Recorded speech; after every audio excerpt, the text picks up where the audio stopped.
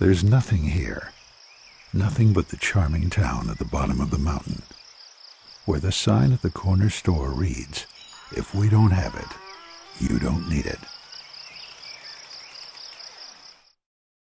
When I'm hungry, my tummy sometimes growls. We are so thrilled to be part of the Montana Food Bank Network because it allows us to fill those tummies. In large part, we could not do it without the Montana Food Bank Network. Basically, we've outgrown our current facility. Without the Montana Food Bank Network being there, we're sunk. There's just much more out there that we could be acquiring if we had the room to store it. We are the richest country in the world, and we should have food. Please help us raise the funds to finish our building.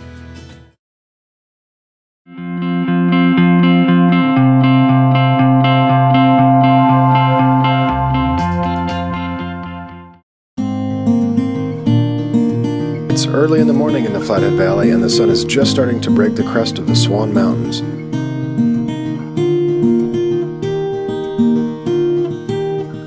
While most people are sleeping, crop duster Mike Campbell is preparing for another day on the job.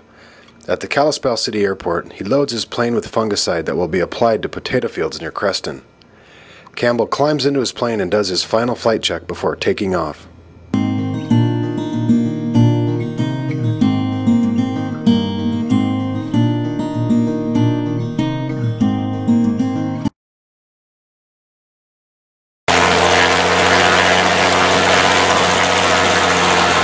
Just as the sun begins to break over the mountains, Campbell swoops in with his first load of fungicide on a field of mint.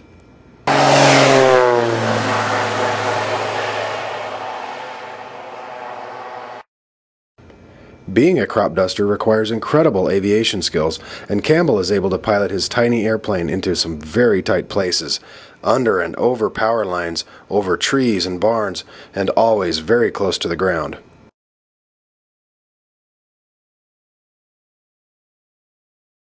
I like agriculture in general, but I like um, precision flying that's required of it.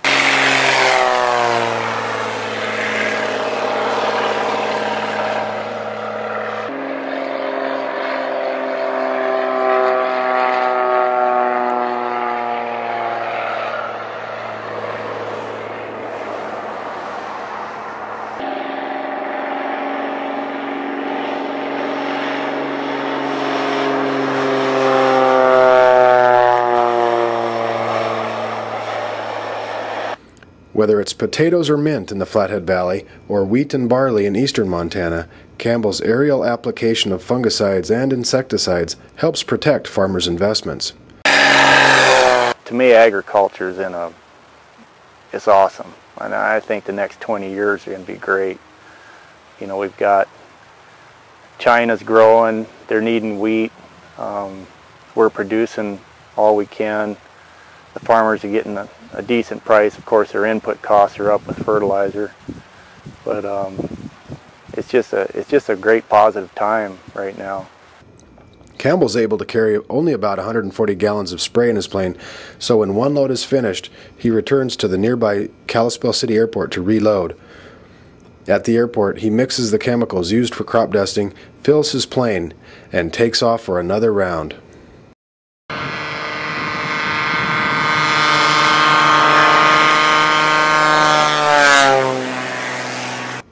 Campbell began his career as a crop duster in 1992. His father, John Campbell, is an aviator who lives in Marion, Montana. The father and son are passionate about aviation.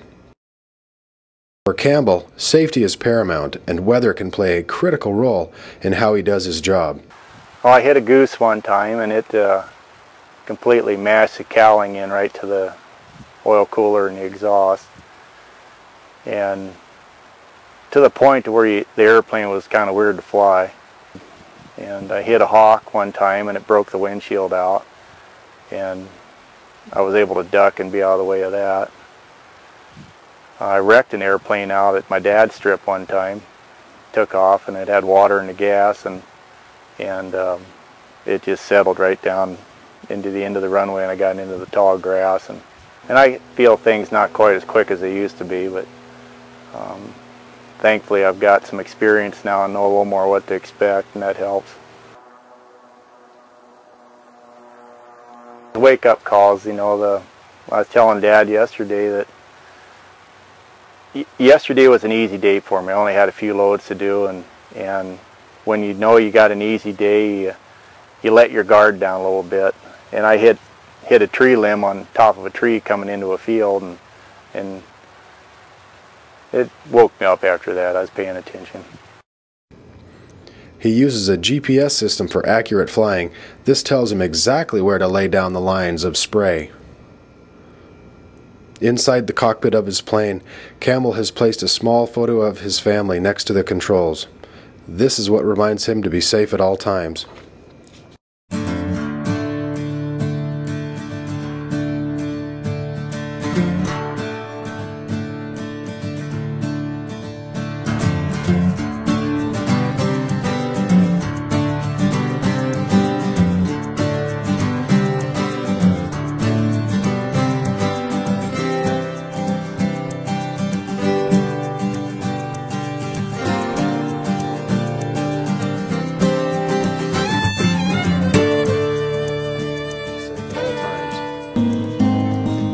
After his last load is finished, Campbell lifts up and out of the fields near Kalispell.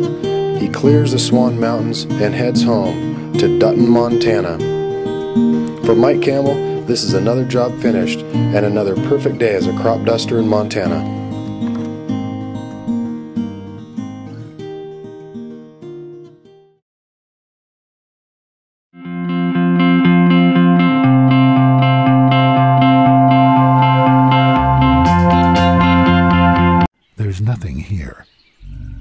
Nothing but discovering fresh huckleberry pie for breakfast. And discovering your true place on the food chain for lunch.